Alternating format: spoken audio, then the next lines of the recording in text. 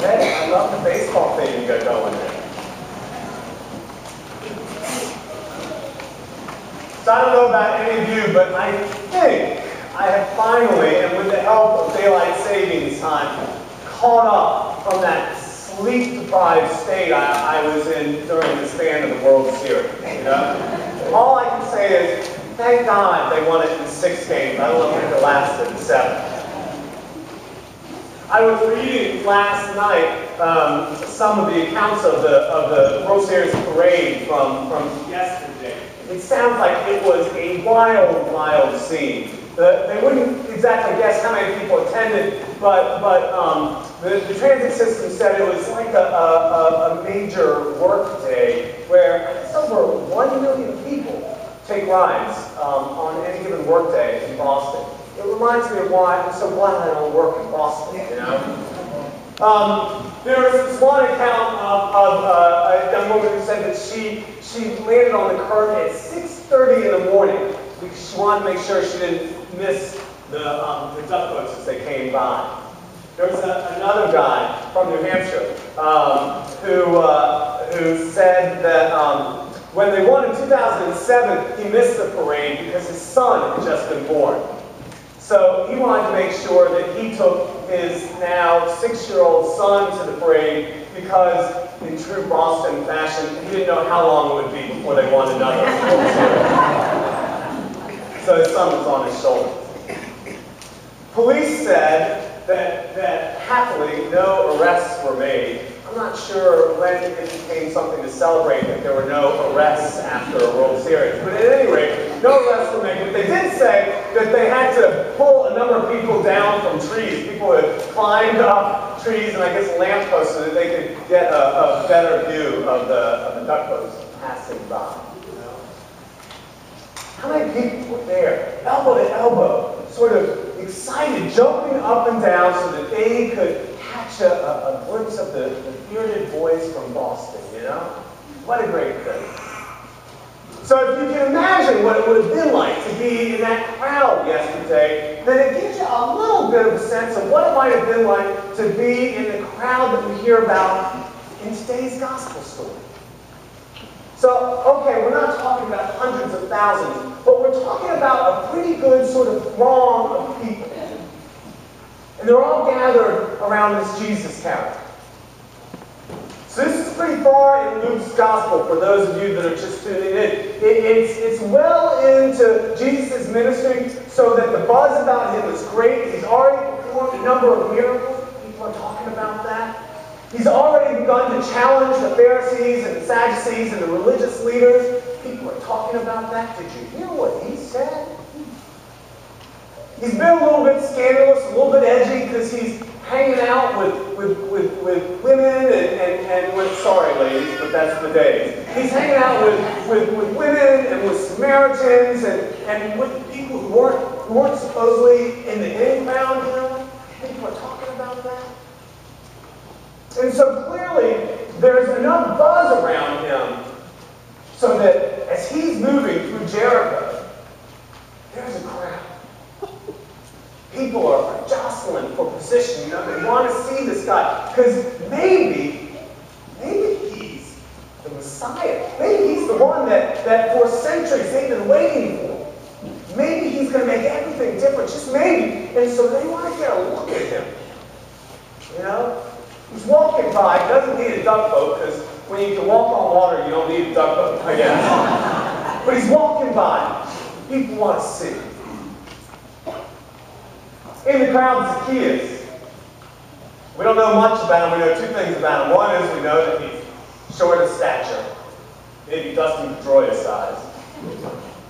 And we know he's a tax collector. For him to be in that crowd was quite extraordinary, actually, because tax collectors were hated, were hated by the Jews of those times. They were hated because the tax collectors were seen as working for the Roman sort of government. And the tax collectors were usually pretty wealthy. The tax collectors made their wealth by taking a little extra money from people and, and pocketing something. So they were hated. And, and for Zacchaeus to be out there amongst the crowd, you know, people who were looking at him and, and, and pointing at him, that would have been an easy thing. But he's heard about this Jesus guy too. And he wants to see for himself. wonder if this guy looks different. wonder, wonder if there's something about him. He's short of stature. He can't see because the crowd's around him. And so what does he do? Luke says he goes running ahead running ahead and he sees a tree and, and, and, and he you know, jumps up on the tree and, and he's hanging out up there on a branch so he can look down on the crowd. Now imagine, how many of you want to go running and climbing a tree right now? You know?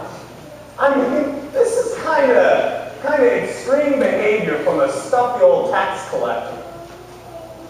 No insult if there are any accountants in the crowd, but you know, back in those days, this is kind of extreme behavior. There he is anyhow. He's in the top of the tree, he's looking down, and, and, and imagine sort of the energy building as the crowd's getting closer and the, and, and the noise, the chatter is getting louder. And, and, and finally, the, the, the parade is right underneath him. And then this wild thing happens. Not only does Zacchaeus finally get a hold of Jesus, but Jesus looks up at him and says, Zacchaeus, what are you doing up there? Calls him by name, calls him out. If I'm Zacchaeus, I would have fallen out of the tree right there, you know? But he doesn't just he doesn't just see him, he doesn't just call him by name. He says, Zacchaeus, hurry down. I don't know why he says hurry. I love the energy about that. Zacchaeus, hurry down. Because I must stay at your house tonight. You're the would-be Messiah, you can invite yourself over anytime. hurry down. I must stay at your house. Zacchaeus comes scrambling down the tree, hurries down, Luke writes, hurries down, welcomes Jesus, and says, okay. Now the crowd that's gathered around Jesus, they are indignant, you know? They're grumbling. They're like, how does he reign? He's a tax collector. He's a sinner. What is Jesus doing hanging out with this guy? The crowd that's, that, that, that's been waiting for hours to catch a glimpse of Jesus, now they're not so sure what they think about this Jesus character, you know? But Zacchaeus, the story's not over for Zacchaeus. Because even while people in the crowd are, are, are calling him names, sinner, hurling insults at him, Zacchaeus stands there, he takes it, and then, and then the biggest surprise of it all, he says, look, what am I to do? He says, I'll tell you what, I'll give away half of what I own to the poor. Because he's heard that Jesus cares about the poor. I'll give away half of what I own to the poor, and, and, and I'll make right all, all with all the people I took advantage of. Fact, I'll do more than make right. I'll give, I'll give them four times what I took. What a shock. I don't know if anyone in the crowd heard it because they were probably too busy complaining about it. But what a was the key to make that change. This is a gospel with so much action, so much energy, so much chaos and passion and excitement and surprise. If you can't feel it, then think about what, what it was like when you watched the, the Red Sox win the World Series, you know? And then if you were waiting to see the, the duck boats come by. Just joy and shock and chaos, all of that, right there. That's this scene from Luke's Gospel. Now, for those of you that are, are longtime members of St. Luke's, you know that we're in the middle of our, of our commitment campaign, our pledge season. And so as I think about Zacchaeus, who decided that the way to embrace Jesus was to give half of his belongings and to make right with all those he'd taken money from, I'm like, well, this just tees me up for a stewardship sermon, now doesn't but don't worry. That's not where I'm going with this. But don't forget. Because we've got five, five little ones here, five ones short in stature, who are about to be baptized. And so I want to ask two questions this morning one to the so-called St. Luke's congregation, and one to you parents and godparents. So stay tuned. But here's my question to you, St. Luke. For these five who are about to be baptized, who, who are going to be short in stature to try and catch a glimpse of Jesus, so what kind of crowd are you going to be? Are you going to be a crowd that, that makes it hard for them to see Jesus? That gets in the way? That shouts out Jesus' grace with grumbling? I don't think so, because I know you. I don't think so. But are you going to be a crowd that helps these little guys catch a glimpse of Jesus? You see, he's fretting about that. He wants to know. totally okay. No, no, no, it's okay. Don't grumble about this, because this is the Holy Spirit here. But seriously, crowd, how will you help these little guys and girls catch a glimpse of Jesus. How can you do that? As a church, as, as a church that's supposedly part of the body of Christ, how can you do that? Now, now, say that again? Welcome them even when they cry. Welcome them even when they cry. Believe me, we didn't work this out but I was going to say, and she knows me better than anyone, that's my wife in case you didn't know. I was going to say, so you guys know me, sometimes I ask a question I really want answers. So so give us some answers so that these people can hear. How else, besides welcoming them when they cry, how else can we as a crowd help them catch a glimpse of Jesus? What else can we do? Pick them up when they fall down, literally and figuratively. Yes. What else? Include other people. Thank you. What else? Just love. What's that? Just love them. Just love them. Jesus was pretty good about that, right? What else? Lead by example. Lead by example. Right. What else? Sing them a song. Sing them a song. That came from the choir, in case any of you were wondering. But you're so right. And look at how that's influenced these young people here.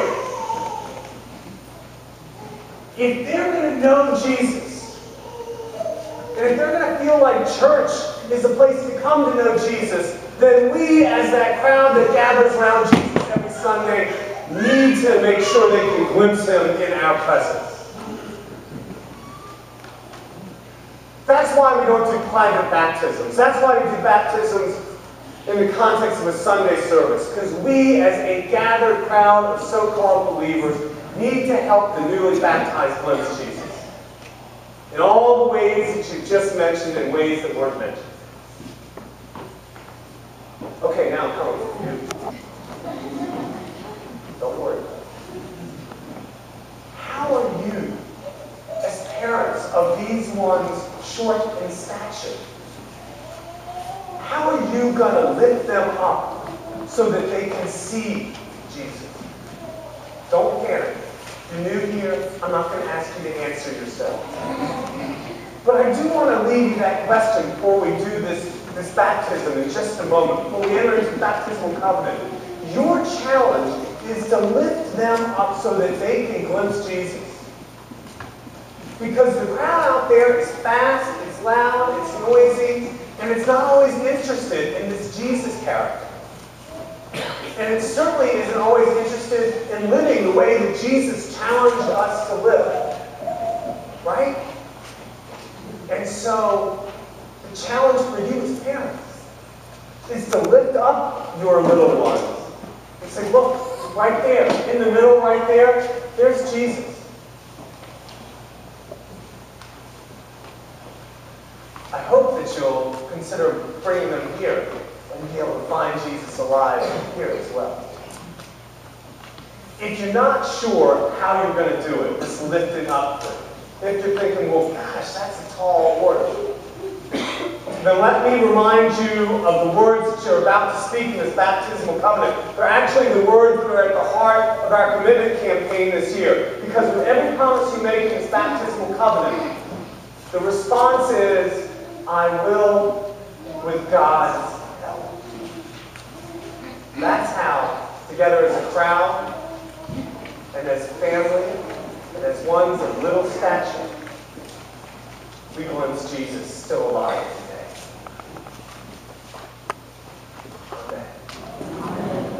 So let's